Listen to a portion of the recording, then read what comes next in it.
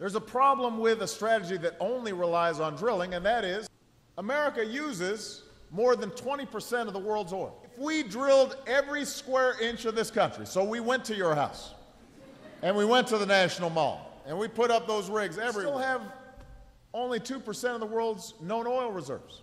We're using 20. We have two. We've got a math problem here. Investors Business Daily, quoting the Institute for Energy Research, reports that the U.S. has around 1.4 trillion barrels of technically recoverable oil, or roughly 50 to 60 percent of the world's oil supply, not the 2 percent quoted by Mr. Obama. That, by the way, is enough oil to meet all of our energy needs for about 200 years. For TruNews, I'm Jake Baker.